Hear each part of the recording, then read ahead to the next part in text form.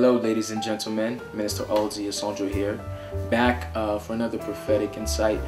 The Lord has really been ministering to me concerning the return of our Lord and Savior. Obviously, we're getting closer and closer and closer to that. But just about a week and a half ago, I was just waking up.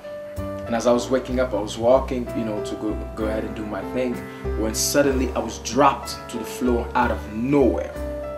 I dropped to the floor and the audible voice of God started speaking. Now, this is not the voice of the Holy Spirit that usually speaks to us. This is the audible voice of the Father.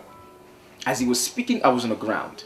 And, I, and the further he spoke, the more I felt like my body was like literally being decomposed. It was literally decomposing as he was speaking.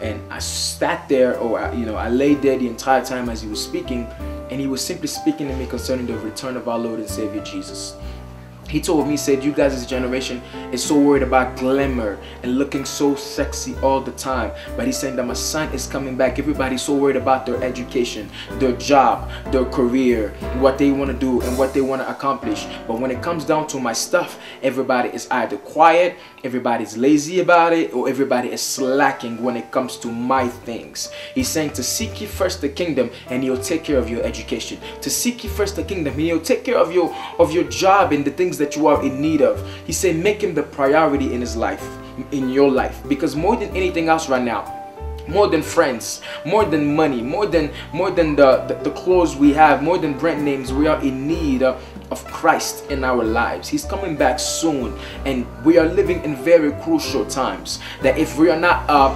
interacting with the spirit of the living god we may not only miss out and on his coming back but we may even also miss out on the things that he's wanting to do for us while we're still here on earth. So the audible voice of the lord spoke to me to warn you that he's coming back soon. Make him the priority in your life in this season. May my god bless you. Jesus christ loves you more than anybody has ever loved you more than anybody loves you now and more than anybody will ever ever love you. Be abundantly blessed. See ya